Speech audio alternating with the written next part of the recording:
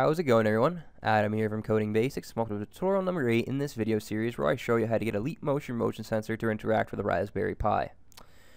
In the last tutorial we started making our class that's going to sit on the Raspberry Pi. We made all the skeleton methods, now it's time to code them. So our constructor method is done, that was the only line we had to do, so we did it in the last tutorial. Now let's do this go online method, which returns a server socket.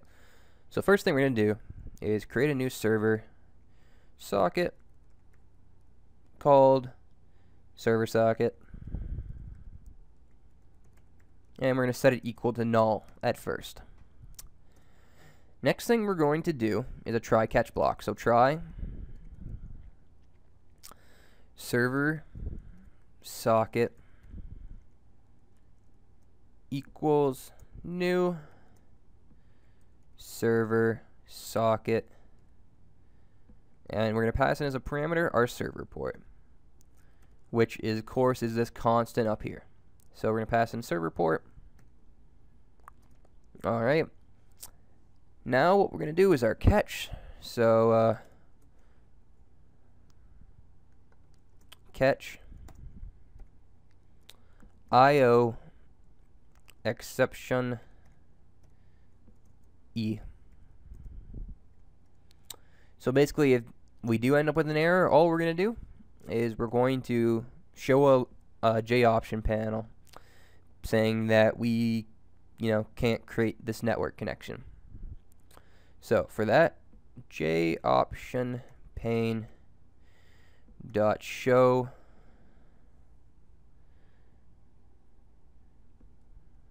uh, show message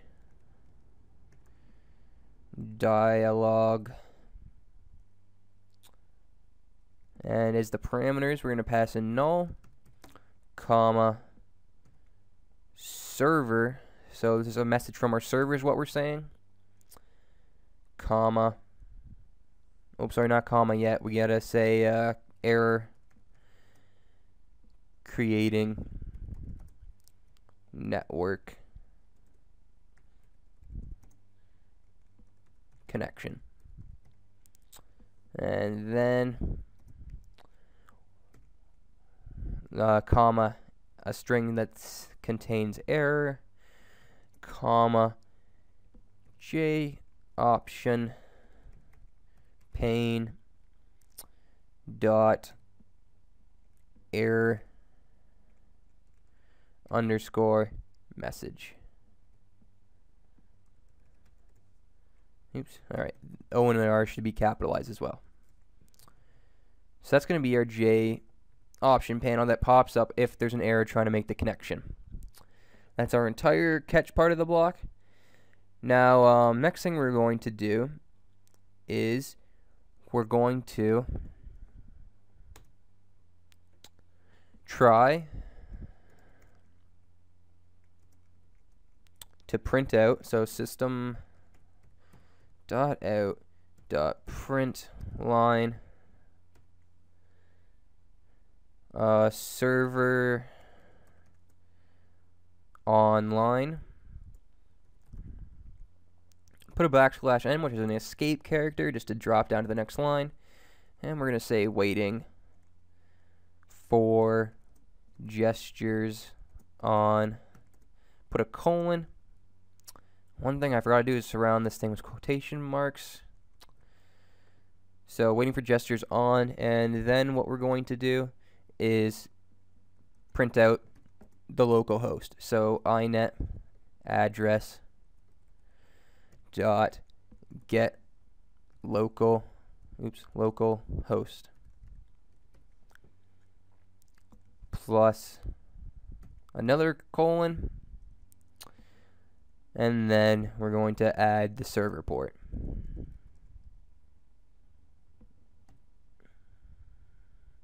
Alright, server underscore port. Alright, and finally, I just want an extra line there just to make it look better. So an extra line of spacing before we start printing out all the gesture information. So that's going to be our try. We're trying to print all that out. We're going to catch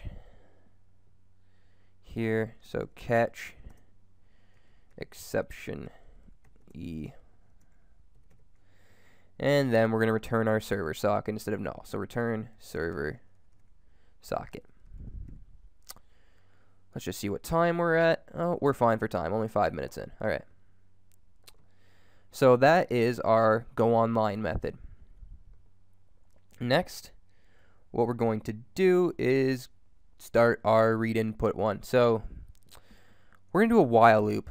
So whenever this method calls, it's going to keep looping as long as our program's running. So to do that, we're just going to pass in as our uh, condition true. So keep looping. It's basically saying infinitely loop until the program stops. So while true, we're going to create a new socket called socket and set it equal to null. We're then going to create a buffered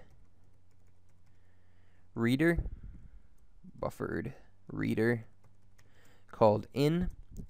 So this is going to be our input stream, which is going to read from the uh, Leap Motion computer's output stream, which was the print writer.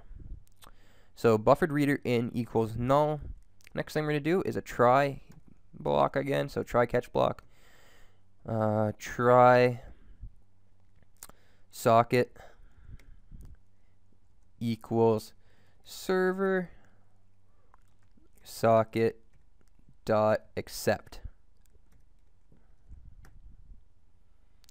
Next, in, so our buffered reader equals new buffered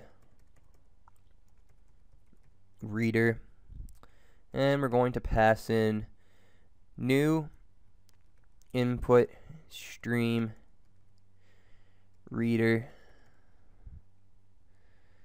which it is going to take as a parameter the socket dot get input stream. Alright finish that off with a semicolon. So yes a long line to create our buffered reader but we're going to get an input stream reader which is going to take as its parameter the input stream of our socket. So that is our try portion of the block. Now we're going to catch IO exceptions. So IO exception E. And in that case, we're just going to display and we're going to display a J option panel. Now I'm going to copy this one just to save a ton of time. Okay. Now, just want to look what I have the message here as. So, okay. So we're just going to change this here where it says server. We're going to change the error to error connecting to client. And that's the only change we have to make for that. Alright, and then finally, we're going to finish off this catch by exiting. So system dot exit pass in negative 1. So that's going to end our program if we cannot connect to the client. So there is our, nope, we still got a little bit more, sorry. That's not the end of our read input method yet. We still got a little bit more to go. So now we're going to get into reading the stuff that's been sent from the Leap Motion computer. So we got to do another try. So what we're going to do is we're going to try string request. So we're going to this string is basically going to be the message we get from the Leap Motion computer. So request is equal to in dot read line. Now, one. Now we're just going to determine what kind of request we're getting from that computer. So if request dot starts with uh, just uh, put an open uh, string with uh, open bracket in it. So what we're saying here is if it's an open bracket, well then it's just an updated position. Uh, because update position sends um, coordinates inside those brackets. So we'll know we're just updating the position. So now we got to go about dividing this string to get the coordinates. This is where all the fun happens. So string sub str, which stands for substring. We're going to set this equal to request dot substring. Now we're going to pass in 1 because we don't need that bracket here, so we're going to start at the second index. So 1 comma, let me just go to the next page of my notes.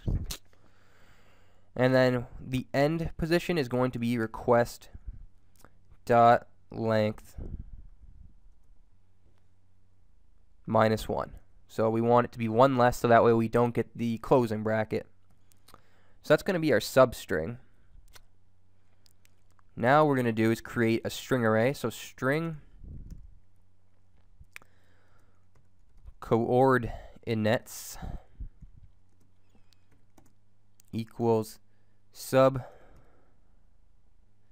str dot split uh-huh and we're going to split it at every comma. Why are we doing that? So we get just the coordinates back. So why do we have an error here? Oh sorry. We gotta put the open close square brackets there just to make it a string array. Alright, now next thing we're going to do is we're going to get our screen size. So dimension, screen, I'm going to set this equal to java dot awt dot tool kit dot get default toolkit dot get screen size.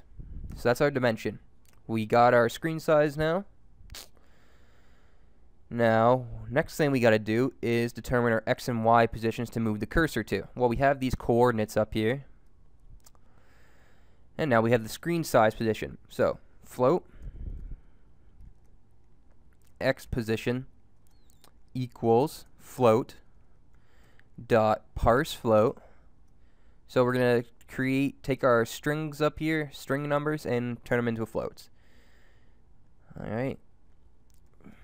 Parse, or sorry, uh, so float.parse float, and we're going to pass in coordinates at 0. So coordinates, and then inside square brackets 0 is the position. So that's going to be our x value. And then next is going to be our Y position, which is the exact same thing. Okay, we just got to change it to Y position, and we got to make it index 1. That's our Y position. Now, the Leap Motion does have a Z position as well, but we're going to ignore that because we don't need that. We don't have a 3D screen. So, now that we know the position, X and Y position, we are going to move the cursor. For that, we're going to do robot dot mouse move for our x position, we are going to typecast, so int, we, the robot takes an integer uh, for the mouse move method. So we got to typecast it to an integer. Now, before we do that, we have to make our x and y positions proportional to our screen. That's why we got the dimension up here for our screen. So screen dot width times our x position. And that's all there is to it for our x position. Really simple. For our y position, it's a little bit harder. So once again, we got to typecast it to an integer. But first, we have to take our screen dot height and we are going to take away the y position and then uh, multiply screen height. So multiply screen height. Uh, screen dot height. So that's how we get the Y position. So now our mouse has been moved. Alright, so uh, that is the end of moving our mouse. That's all I'm going to leave it at this time. Next time we'll go over uh, clicking, scrolling up, scrolling down, and then our swipe as well. So thank you guys for watching. Remember to comment on this video, like this video, and subscribe, and I will see you next time.